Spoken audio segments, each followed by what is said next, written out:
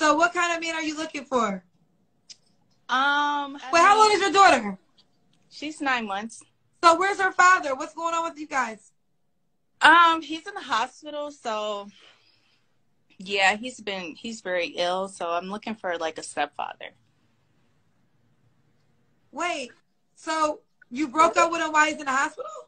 No, I no, I didn't break up with him.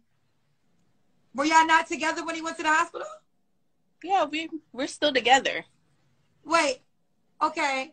I'm looking for like uh, you know, just in case. A stepfather just in case. Just in case if he passes away? Right. Are you serious? Yes, Kendra, you have to have one in the chamber. Kendra, come on now.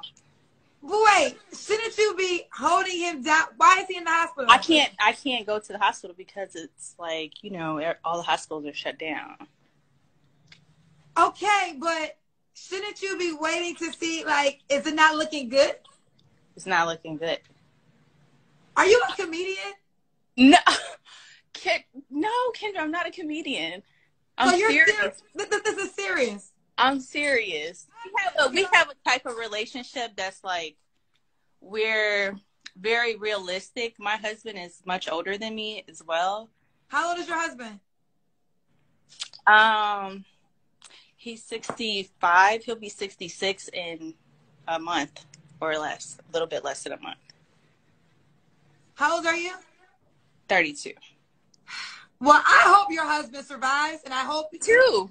and I and then I hope he divorces your ass because I hope he survives and then leaves you because any wife of his that's looking I'm a for really the good guy wife while he's still in the hospital. is I'm a really- really good wife to him, though. You're a really good wife as you're looking for a person while he's still in the hospital bed. This is crazy. But girl, hey, do you? Okay. All right. Bye, baby. Bye.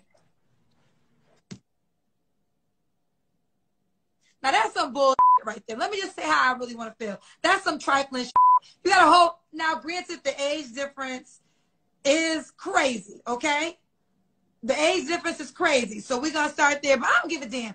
You don't be looking for no other man while your whole husband is laid up in the hospital. Now I know you can't move forward, but you should be doing prayers, asking God to save your husband. Not on Instagram with Kendra G, looking for a new man, take care of you. That's some trifling shit right there. Y'all, y'all,